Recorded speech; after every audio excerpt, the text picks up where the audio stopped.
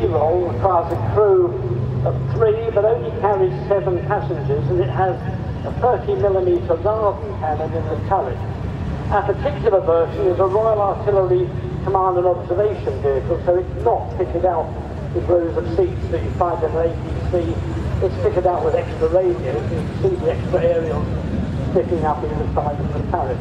Warrior is also used by other arms, both for recovery work by REME and of course um, transport by the infantry in the armoured forces.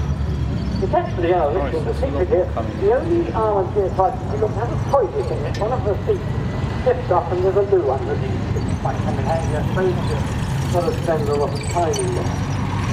Warrior is still in service, um, powered by a Perkins C8 diesel, which means it's got the power to keep up with um,